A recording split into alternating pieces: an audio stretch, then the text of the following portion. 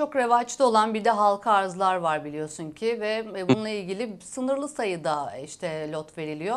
Ama bununla ilgili çeşitli spekülasyonlar yapılabiliyor. Sosyal medyada görüyoruz. E, Eğer işte e, bize uğrarsanız ya da bizi tıklarsanız daha fazla kağıt verecekmiş gibi böyle çeşitli oyunlar da yapabiliyorlar. Nedir buradaki esas mesele?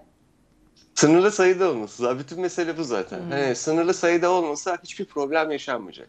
Sınırlı sayıda ve bir şey eğer sınırlı sayıdaysa ki zaten o halka arzın yapıldığı dönemlerde çok dikkat ediyor olmak gerekiyor ki Şubat ayı içerisinde sanırım bir halka arz yapılmıştı. Ee, işte o zaman e, bayağı bir tavan yapmıştı. Ee, sınırlı sayıda ve e, telefonla aranıyor vatandaş e, vatandaşı diyor ki bu sınırlı sayıda diyor hisselerden diyor senin de yararlanmanı istiyorum diyor biz sana diyor bir ayrıcalık tanıyacağız. Ya burada vatandaşın şeyi sorguluyor olması gerekiyor. Ben bana niye ayrıcalık tanınıyor? Yani ben kimim de bana ayrıcalık tanınıyor? Hani bu, bu bir, bir- bunu bir sorguluyor olmak gerekiyor. Fırsat çok büyükmüş gibi gösteriliyor. Benim hep söylediğim bir şey var. Fırsat ne kadar büyükse dolandırıcılığın boyutu da o kadar büyük. Yani bu halka arzlarının olduğu zamanlarda çok çok dikkat ediyor olmak lazım. Çünkü telefonla çok daha temiz bir e, hackleme gerçekleştiriyorlar. Aslında buna hackleme bile de- diyemeyiz. Yani bayağı bildiğiniz dolandırıcılık.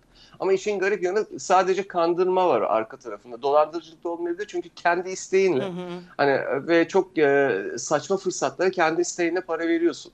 Hani burada vatandaşların gerçekten uyanık olması lazım. Telefonda banka bilgilerini paylaşıyorlar, kişisel verilerini paylaşıyorlar.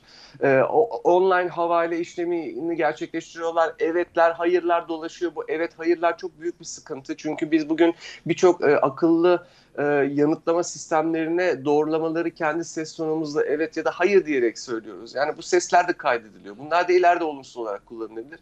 Yani dediğim gibi e, gerçekten e, çok kompleks bir şekilde bir saldırı yapıldı bu sefer. Ve e, bunun da e, vatandaşlar maalesef e, gene bu tuzaklara düştüler.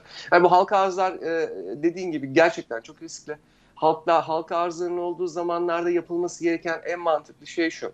Ee, ne arz edildiyse e, ya da arz eden kurumun web sayfasına gireceksin, Hı hı. bakacaksın. Ya bu bu kadar basit ve net. Ha orada şöyle bir sıkıntı var. Ee, eğer o web sayfasını arama motorunda aratırsan e, o dolandırıcılar senin onu arama motorunda aratacağını da tahmin ettikleri için oluşturdukları sahte e, e, web sayfalarıyla e, ve o do- alan adına çok yakın isimlerle Hı hı.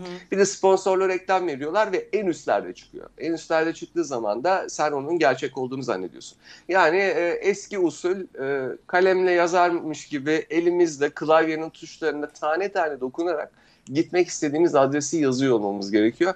Yani işin uca, ucunda para varsa zaten hani arama motorundan çıkan bir linke güvenmek de ne bileyim yani e, bu kadar dolandırıcılığın olduğu bir ortamda sırf şu kurala uyarak bile birçok dolandırıcılıktan vatandaşlar korunabilir.